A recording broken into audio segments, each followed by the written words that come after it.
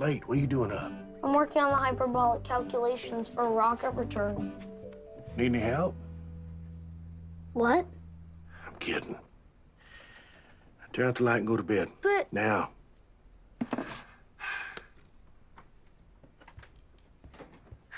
Dad, can we afford a computer?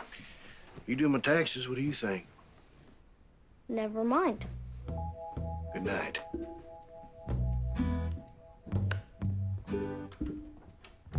Thus began the longest month of my life.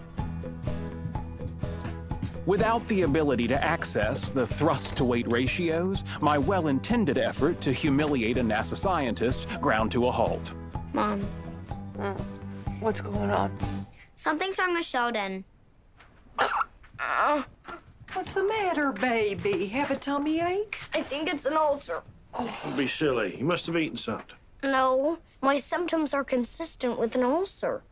Shelley, remember when you thought you had leprosy and it was just a patch of dry skin? When you thought you had gout or an enlarged prostate. Or mad cow? That was my favorite. No, this is different. Maybe we should take him to the doctor. Listen to your wife. Ulcers are serious. Oh. Well, I've never seen this in someone so young, but uh, your son has an ulcer. Thank you. How could this happen? Uh, there are a number of factors. Has he been under some unusual stress lately?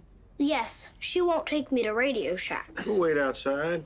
I've read some interesting research about treating ulcers with antimicrobials. Go. And you're surprised I have an ulcer. I'm surprised I don't have one. um, Radio Shack? He's trying to figure out how to help NASA land rockets. Oh, that's a nice thing. He's just doing it out of spite. Okay. Uh, well, keep him off spicy foods for the time being, and I'll write you a prescription for Zantac. Does he smoke? Of course not. He's nine. I started at his age, uh, but only when I drank. No.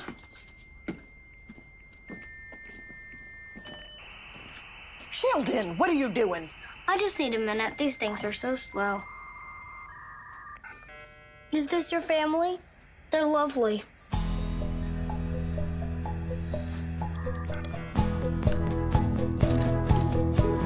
Mom, What?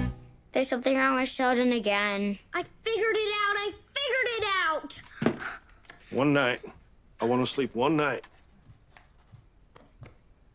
Oh, hi, Mom. Hi there.